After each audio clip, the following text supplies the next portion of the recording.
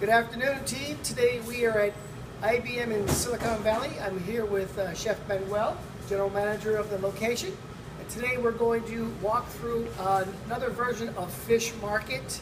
Uh, we changed it up a little bit today. Instead of cooked to order fish fillets, we're uh, menuing three types of items. We have a paella, a cioppino, and a uh, mussels and clams dish.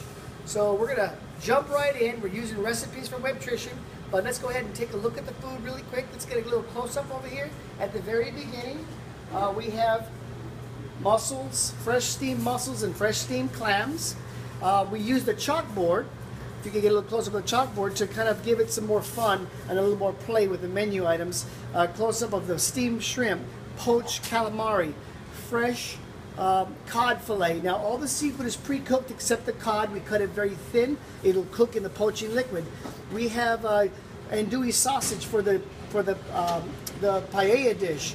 We have diced tomatoes, chicken thighs, and chorizo meatballs. That'll be um, for with the, the paella and the cioppino, and, and the meatballs go with the mussels and clams dish. Roasted fennel, peas, steamed potatoes, and grilled roasted onions. Uh, moving on down, we offer them either a choice of yellow rice or steamed brown rice or a pappardelle or fettuccine noodle.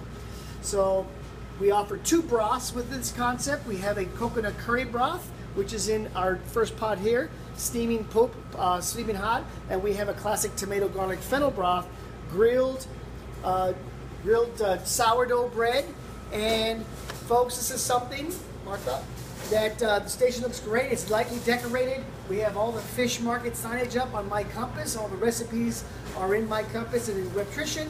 So it's something we want you all to give it a try. It's a little bit different on, on Fish Market. Have fun and thank you. Have a good day.